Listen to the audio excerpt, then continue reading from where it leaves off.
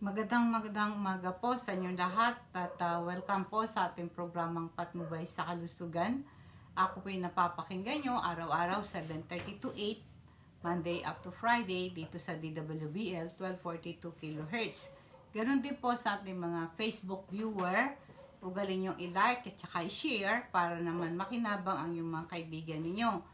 I-search nyo po ako sa aking Facebook page, Patnubay sa Kalusugan. Kung may concern kayo, meron kayong gustong products na i-deliver sa inyong tahanan through LBC, makakarating sa inyo, mag-message lang po kayo sa akin sa Facebook page natin, Patnubay sa Kalusugan.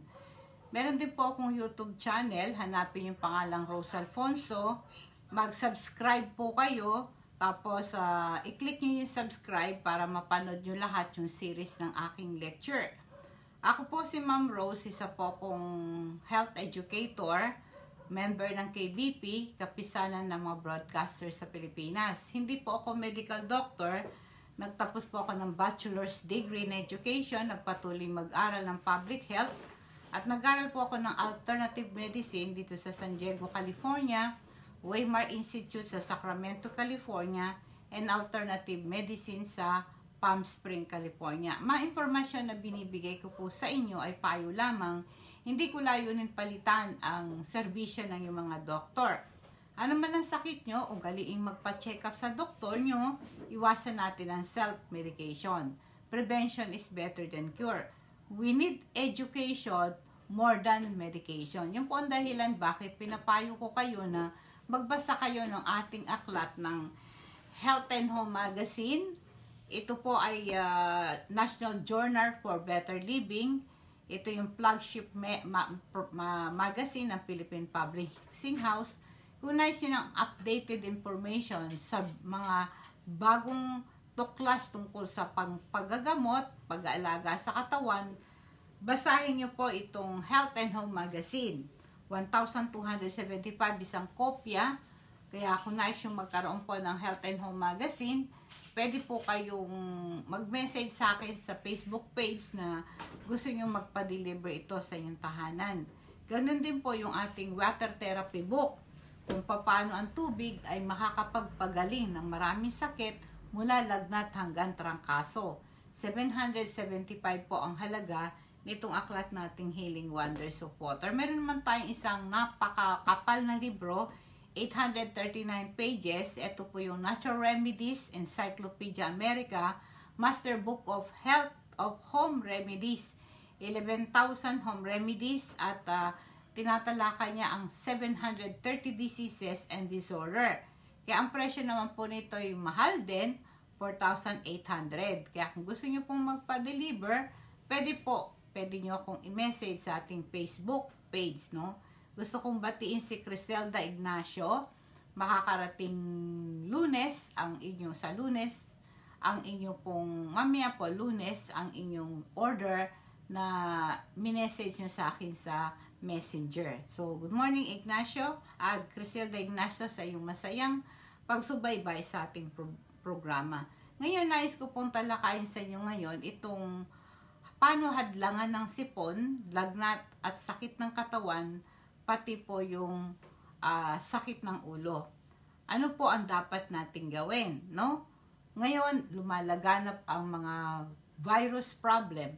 Maraming tinitigdas, uh, nagkakaroon po ng mga bulutong tubig, masasakit ang kasukasuan, at uh, sabi nga, lumalaganap din ang pulmonya. Ang daming virus na nakakalat sa ere, so pag umina resistensya mo, pwede kang maging biktima nito. So, anong dapat mong gawin? Pag sinipong ka na, nilagnat ka na, masakit na ang buong mong katawan, ano na dapat mong gawin? Una, tumigil ka sa bahay. Kung pumapasok ka sa school, pumapasok ka sa opisina, huwag ka muna magtrabaho. Kung may sipon ka at may lagnat ka, masakit ang ulo mo, ay stay ka muna sa bahay. Kasi nakakapagpapalala at nakakapagpabagal ng pagpagaling mo pagpagod ka at madali ka pang makahawa sa mga kasama mo sa trabaho, sa school. Kasi po yung sipon na likha na mikrobyo ay madaling kumalat sa pamagitan yung pakipagsalamuha, pagsasalita mo, pagbahin-bahin at pag-ubo-ubo mo lalo na po sa kulob na lugar, air condition ang kwarto ninyo, ay makahawa pa kayo. Kaya parang awa mo na, para hindi ka na makahawa, stay home ka na lang. Ha? Pangalawa, matulog kang mabuti. Pag may sakit na tayo, inuubo na tayo, nilalagnat, masakit na yung katawan mo, wag mong baliwalain yon. Magpahinga ka na.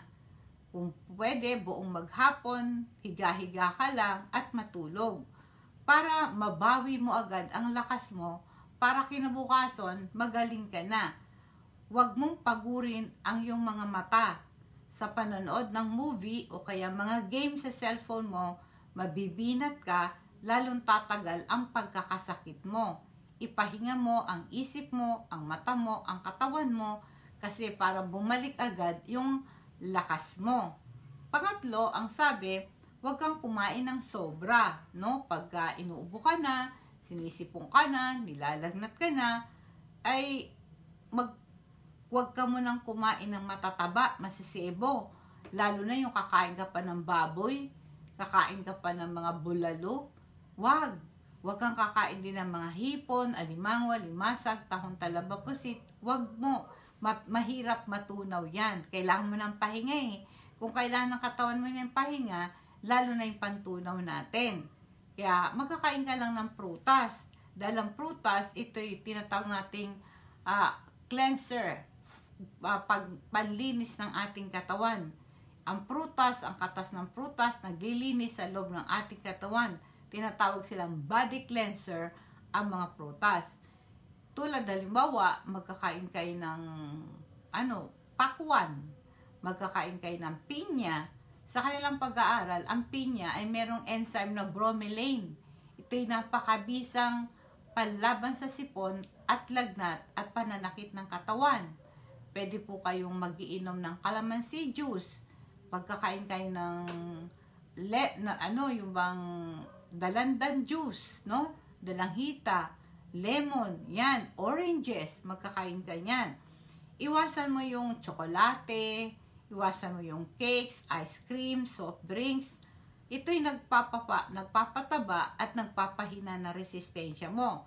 Kasi yung sobrang sugar na kinakain mo, ang ating white blood cells, ito yung puting dugo na lumalaban sa mikrobyo, ay humihina ang kanilang resistensya. Nagkakaroon ng temporary coma. Kaya, kaya pagka marami kang kinakain na sugar, ang immune response mo ay mahina at mabagal, hindi ka madaling gumaling. Pang-apat, uminom ka ng saganang tubig. Pag sinisipon, inuubo ka, uminom ka ng saganang tubig. Sa Friday, ng 10 to 12, dito sa Muñoz, sa ating, ay sa Muñoz, sa uh, dito po sa Lagman Building, sa Blumentritt, sa office natin, ini-invite ko po kayong umaten ng libreng seminar ng water therapy kung paano ang sipon lagnat at trangkaso ay malalabanan natin sa natural na paraan. Pagka tinigdas ka, nagkabulutong ka, nagkaroon ka na ng lagnat, meron kang pneumonia, lalo na sa matatanda at bata, namamatay sila dito. So kung paano tubig, makakapagpagaling ng mga bacterial infection or viral infection.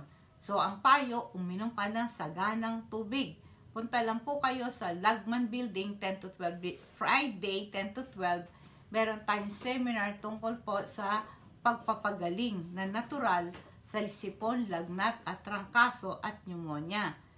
Alam mo, kaya ito importante ang pag-inom ng tubig kasi pagka uminom tayo ng tubig, masagal, ma, mahuhugasan palabas ang mga mikrobyo sa iyong sistema. Pagising mo sa umaga, inom ka ng anim na basong tubig na maligamgam. Yung unang dalawang basong iinumin mo, kada isang baso, lagyan mo ng tatlong piraso ng kalamansi. Pigain mo yung kalamansi dun sa maligamgam na tubig sa bawat isang baso. Inom ka ng dalawang basong tubig na may kalamansi After that, yung apat na walang kalamansi, inumin mo to one at a time, no? Huwag ka muna magalmusal hanggang hindi mo nauubos yung anim na basong tubig na maligamgam para mahugasan palabas ang mikrobyo sa iyong sistema. Dahil yung anim na basong maligamgam, pagising sa umaga, ito'y nakakalis ng pag-alis ng dumi sa katawan. Kailangan sa buong maghapon, magkaubos ka ng dalawang litro ng tubig, no? Para ipawis mo, uh, para iihi mo, idumi mo. Kasi yung matigas na dumi sa bituka, nakakapagpalambot yung tubig na ininom mo. Panatilihin mong malinis ang katawan mo pag may sipon, lagnat at trangkaso ka kasi pag may sakit ka, mabaho yung amoy mo. Masangsang ang amoy ng pawis mo, marami kang libag pag meron kang sakit. Masamang amoy ang sumisingaw sa katawan mo, sa, sa kilikili mo. Mabaho yung buhok mo, mabahong hininga. Magsipilyo ka pag may sakit ka. Maraming lumalabas na mikrobyo sa bibig. I-shampoo mo yung buhok mo. Magpalit ka ng panty, magpalit ka ng brief, magpalit ka lagi ng malinis na damit. Kapag presko ang pakiramdam, eh, makakatulog ka at makakapagpahinga ka. Pag mabaho ka, hindi ka komportable. Yung mga dumadalaw sa'yo, eh baka pa mahawa. So, malagi kang mag-toothbrush, maghilamos. Kung hindi mo kayang maligo, hugasan mo ng tubig at sabon yung kilikili mo yung private parts mo, hugasan mo lagi ng tubig at saka sabon. Kahit nalalaki ka, maghugas ka. At lagi ka naghuhugas ng kamay, no? Kasi pag inuubo ka, tinatakpan mo yung bibig mo ng kamay mo, doon dito pumupunta ngayon ang mikrobyo. Kaya ano man ang hinahawakan mo, doon pumupunta yung mikrobyo. Kaya lagi kang maghugas ng kamay, ha? Paalala mo na sa ating lecithin. Yung pong lecithin, Marami health benefits ito. Ang lecithin, natural source ito ng choline. Merong important role sa pagpapasigla ng ating memory. Ang lecithin, ito'y gamot sa makakalimutin, sa mga ulyanin. Para ma-improve ang ating memory, mag-take ka ng lecithin. Isa sa umaga, isa sa hapon. Kaya sabi nga, 30% ng brain natin, ang composition ay lecithin.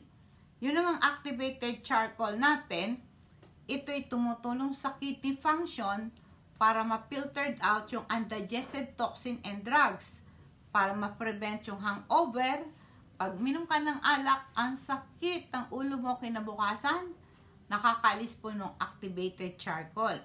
Pagka nalasong ka, matang, para matanggal yung kabag mo sa tiyan, bababa din yung cholesterol mo, Pang-iwas din ito sa diarrhea, ito'y pang-alis ng bad breath. Kung masangsang amoy ng pawis mo sa katawan, mabaho yung utot mo, babaho yung pupo mo, nakakalis po yung activated charcoal.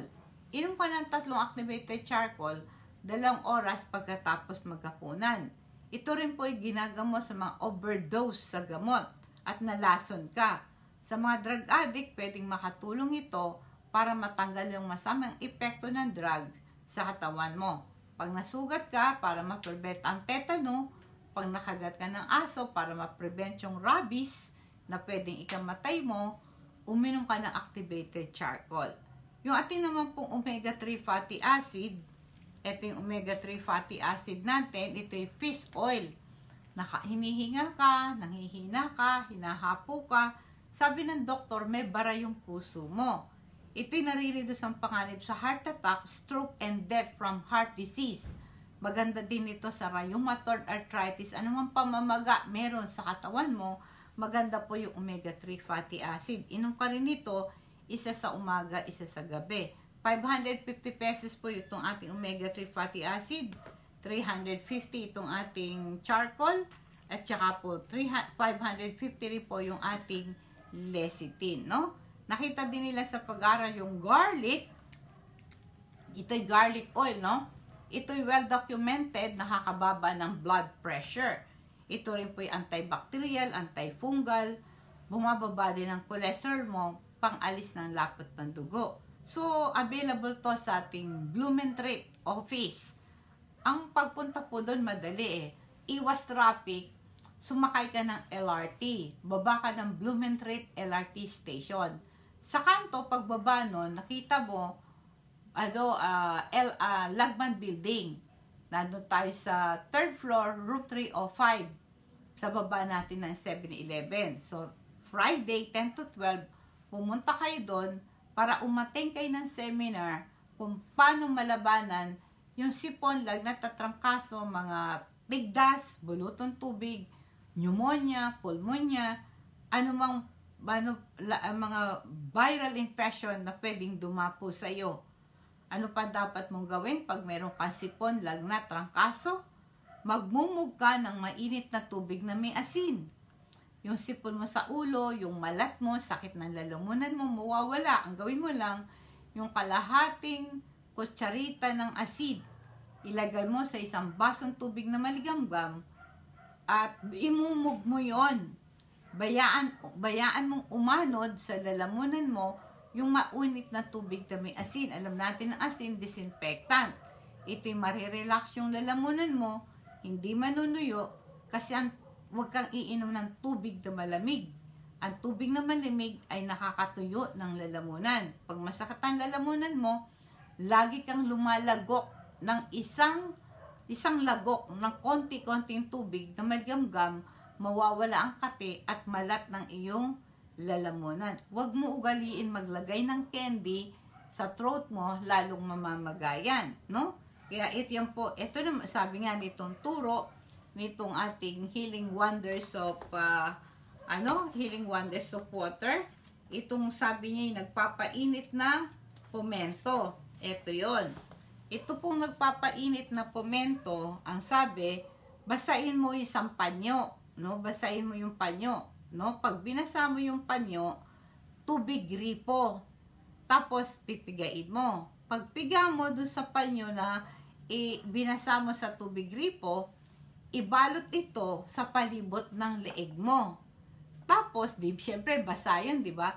Takpan mo yung basang panyo sa isang planela. Babalutin ang leeg mo at tatakip ng lubusan sa basang panyo. Ito ang tinatawag nating nagpapainit na pumento.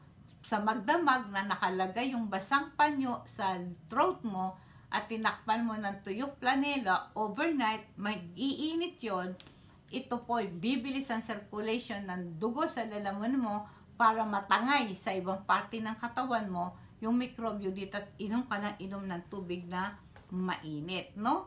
Kaya yun po, maglagay sa lalamunan na nagpapainit na pumento na isang basang panyo sa tubig gripo, ibinalot sa palibot sa leeg, tapos tinakpan mo ng basa, yung tinakpan mo yung basang panyo na nakapalibot sa leeg mo sa, ng isang planela. Babalutin mo yon, tatakpan mo ng lubusan yung basang panyo. Yan po'y mabisang paraan sa kati ng lalamunan mo para hindi bumaba yung mikrobyo sa lungs mo. Tapos pa, ang pwede mo rin gawin, sabi ng ating Healing Wonders, ito po yung sabi ko kanina, pag meron kang lagnat, meron kang sakit, eh, panatilihin mong mabago yung buhok mo. Para sumigaw ang init mo, wala sakit ng ulo mo, shampoo in bed. I-shampoo mo yung ulo mo, tubig at shampoo. Yan, huga, nakakaginhawa po yan. Tapos, ano sabi? Ibabad ang yung paa, ito yung sinabi ko kanina na magmumog ng mainit na tubig na may asin, nasa Healing Wonders of Water, page 94. Tapos, yung, uh, ano po, mainit na banyo sa paa. Nakakalis ito ng sakit ng ulo, natutunaw ang sipon sa ulo at bara sa ilong nawawala. Gawin din ito para matangga, hindi pumunta sa baga ninyo ang mikrobyo nakakalis din ito ng lagnat kasi papawisan ka. Basta yung paa mo, meron tubig na mainit. Dito po sa aklat nating Healing Wonders of Water, nandito kung papaano mo gagawin ito, no? Nakakalis ito ng lagnat, gawin ito dalawang beses maghapon. Pagkatapos punasan mo ng maligamgam na tubig ang buong katawan at magpatuyo ka. Dahil po yung banyo sa paa, pag binababad mo yung paa mo sa mainit na tubig, hinihila, hinihila ng mainit na banyo sa paa, yung dugo mula sa ulo, kaya nababawasan ang sakit ng ulo, nakaka-relax, pampatulog, pampababa ng presyo ng dugo. So, kung para hindi kayo magkamali, paano mo gawin yung hot foot bath, nandito sa ating aklat ng Healing Wonders of Water, 775. Sa seminar po natin sa Friday, 10 to 12, ide-demonstrate ko kung paano ang tubig ay mabisang gamot mula lagnat hanggang trangkaso sa masakit ng katawan, no? Mas maganda makabili kayo sa Friday. Meron tayong ano, pagkatapos no na nagano ka, nagbabad ka ng paa sa may tubig, magpunas ka, magpatuyo ka, at magpunas ka ng best herbal oil.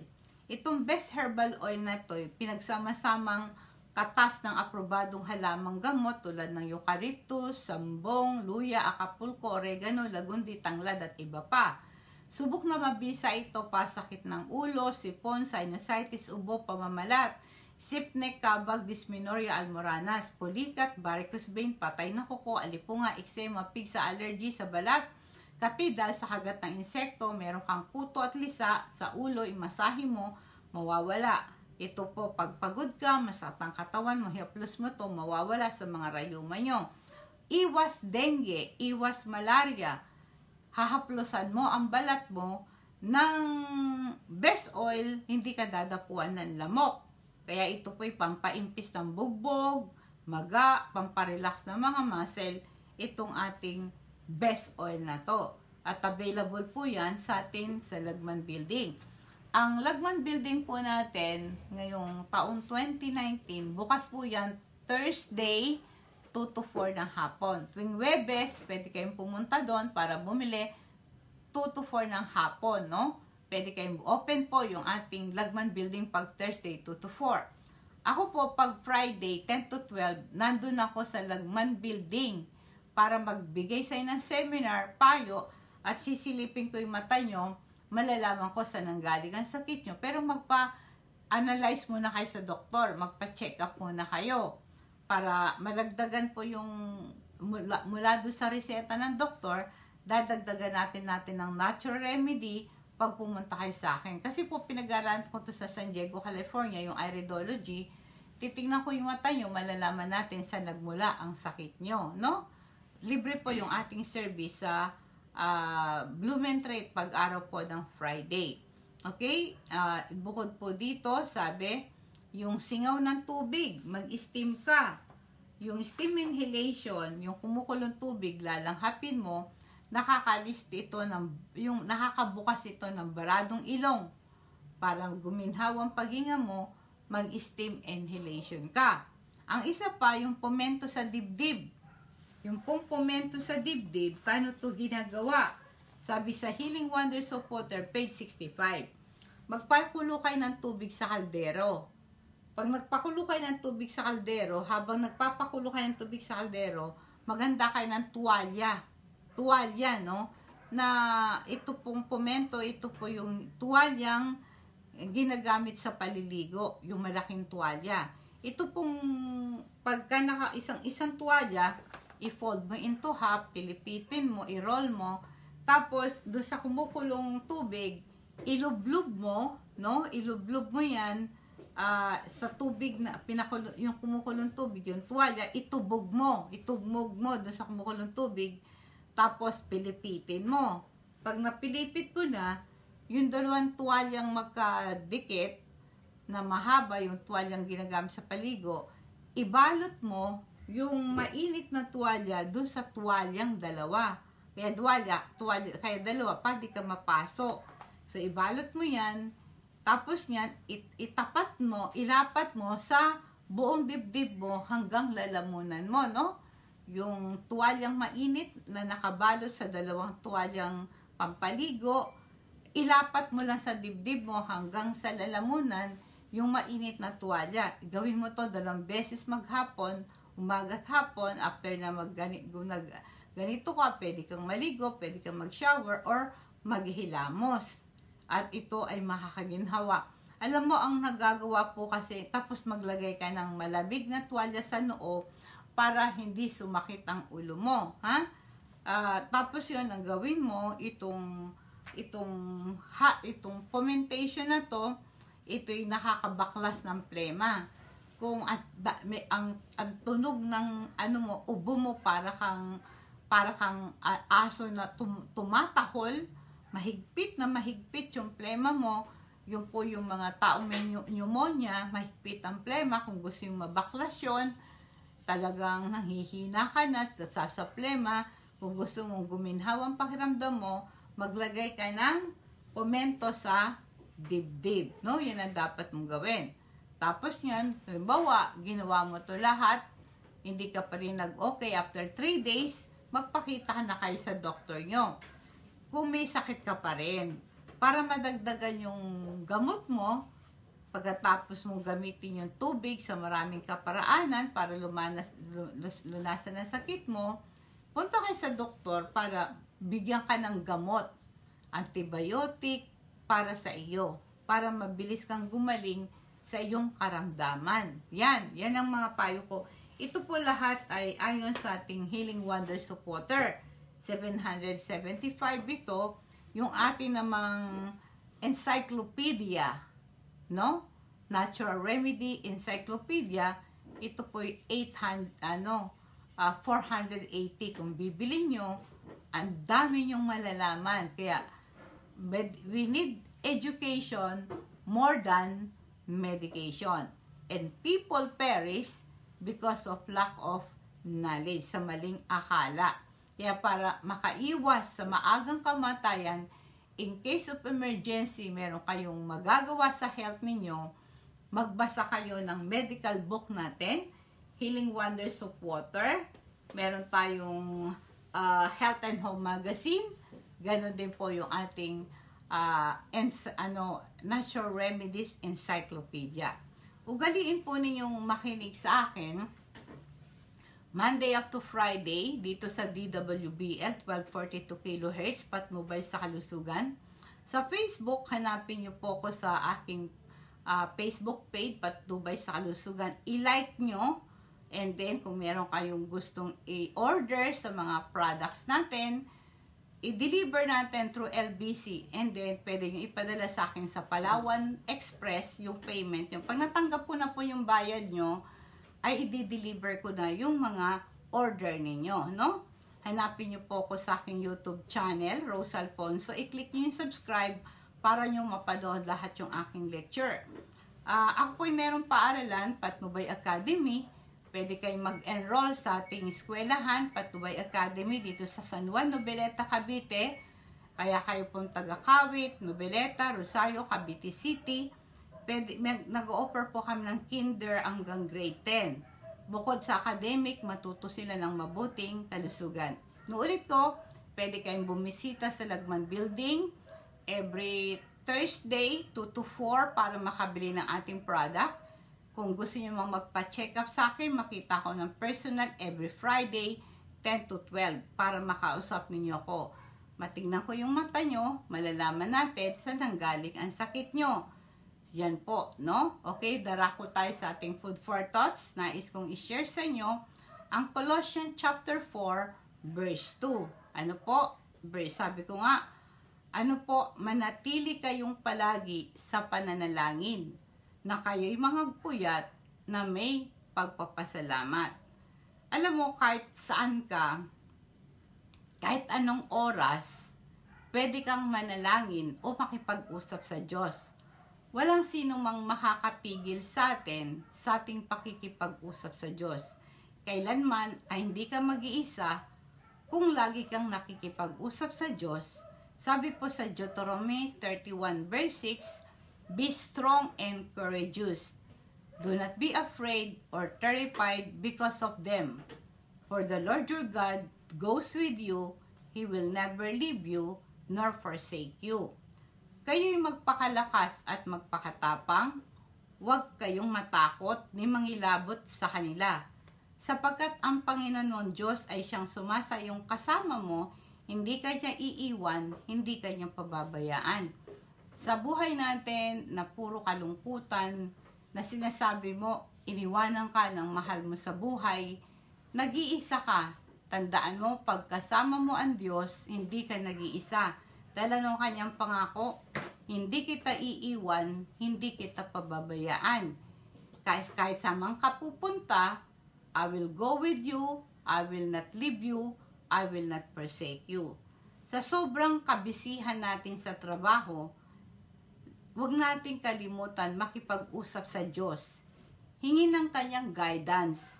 Sa ating araw-araw na gawain, humingi tayo ng kalakasan at tapang at pakikipaglaban sa mga challenges at hamon sa buhay. Sabi po sa Psalms 37 verse 5, Habilin mo ang iyong lakad sa Panginoon, tumuwala ka rin sa Kanya at Kanyang papangyarihin. Kaya sabi, uh, wag mong pabayaan na wala tayong komunikasyon sa Diyos. Kasi di ba sabi niya, without me, I can do anything. Kung wala ako, wala kayong magagawa. Ang Diyos lamang ang merong kapangyarihan. Alam niya ang laman ng ating puso, alam niya ang laman ng ating kaisipan, alam niya in advance. Alam niya mula tayo pinanganak hanggang sa ating kamatayan, alam niya ang programa ng ating buhay. Ang gusto lang ng Diyos sa atin, lagi tayong dapat umaasa sa Kanya. Dahil tayo ay Kanyang anak, mahal niya tayo. Sa Kanyang palad, hindi tayo mapapahamak. Kaya sabi sa Colossians chapter 4 verse 3, manatili kayong palagi sa pananalangin at kayong mga puyat na may pasasalamat. Kaya nga po, sa buhay natin, kung tayo po'y maraming hinagpis sa buhay, para maiwasan ang pagkabaliw o mawala sa sarili, para hindi ka magpakamatay, hindi ka mawala ng pag-asa sa buhay, manatili tayo sa pananalangin at magpuyat na may pagpapasalamat sa Panginoon. Marami pong salamat, nawa pong pagpapala at patnubay ng Diyos siya sumatin sa buong maghapon.